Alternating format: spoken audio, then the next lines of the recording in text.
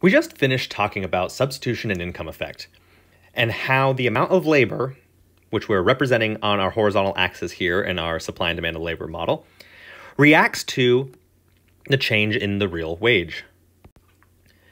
And in a previous video, you saw that this really depends, right? You saw that if the substitution effect is greater than the income effect,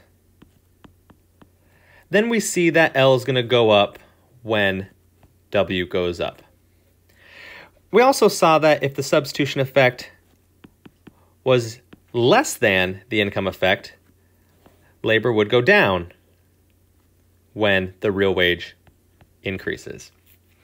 So what we see here is we see sort of a tug of war.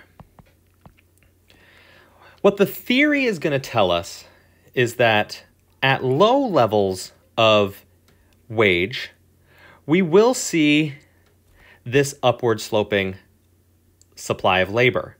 Meaning that if I'm making a low amount of money, as I'm offered more and more money, I'm going to work more and more. However, there might come a point where I'm offered more money and I work less. I start to offer more money, but I actually start to work less hours. This is going to get us what we call our backward bending labor supply curve. So the theory states that there would come a point, if I were to cut this in half, right? There would come a point where we have this upward sloping part where as W goes up, we work more. And then there's this backwards bending part, right? There's this downward sloping part where as W goes up, we actually work less. So here what we see is we see that at low levels of wages, we're going to say the substitution effect dominates the income effect. Whereas at these higher levels of wages, we could see the income effect dominating the substitution effect.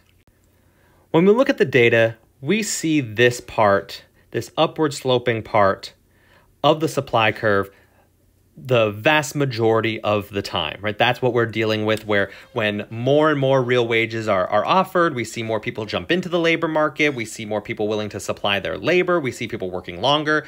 So in our class in 304, we are, I'm gonna make this a little smaller so I can type this out, so I can write this out for you.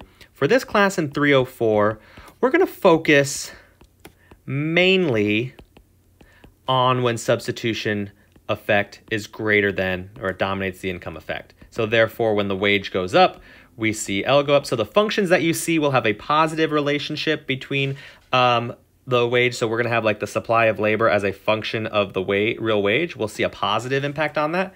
But the theory and the idea behind income and substitution effect and how that would play a role in this backward bending labor supply curve is important for you to know and understand for your quizzes and exams.